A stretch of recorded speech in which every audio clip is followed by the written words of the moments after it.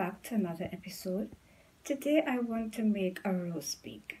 So in the Caribbean, we would make a fire on top, fire below bake, meaning there is fire underneath where it's cooking and fire on top the cover of what it's cooking in.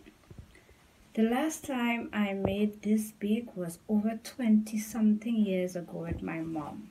And it's something that we always used to do together and I really enjoy making that type of bake. We would sit down in the back of the yard and we would make this thing with the excitement to eat this with some cheese and some rich chocolate tea. So I have been thinking to try this for some time. So I pull out the coal pot. I got some coals. I got some pieces of stick and some orange peel and some uh, gas but you the reason why i'm using the orange peel is if you don't want to use any gas right? So you don't need to use that. You could just use the orange peel and it would work. But i did use the boat actually and it helped really carry this fire until the bake was finished. I made two. I made one that was light not too dark and then I made another one that was really dark because for some reason I like a real hot crunchy bake with cheese. So I did two. This would be a very quick video. The longest part of this video would be this intro. So join me as I put together an old school recipe. I don't know how much people still do this in the Caribbean or in Trinidad but um, Join me as I put this recipe together and see if it would taste as good as my mom made this back in the day as a child.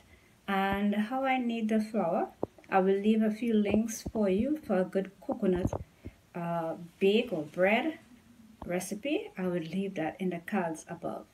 Alright, so come along in the kitchen and let's get started. Oh, one more thing you will see the last chocolate and chit chat video where I knot my hair.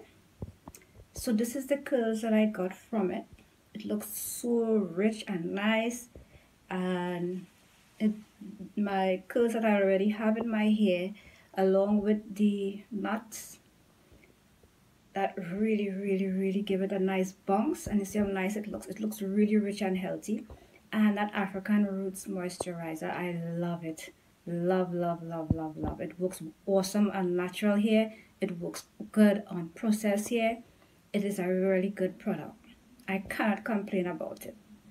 All right so i just wanted to just show you all how it worked. And it looks lovely. Don't you all think? Yes it does. All right so let's get on to my old school coconut roast bake slash fire on top, fire below. Let's go. Don't forget the method would be in the cards above for kneading the flour. So this is the coal pot. I make sure I wash it out properly and this is the ingredients that I'm going to use in the coal pot. As I mentioned previously, the orange peel, you could use it as an option instead of using any kind of kerosene to light and my sticks and we're going to light. I bring it back inside to light it because there's just too much breeze.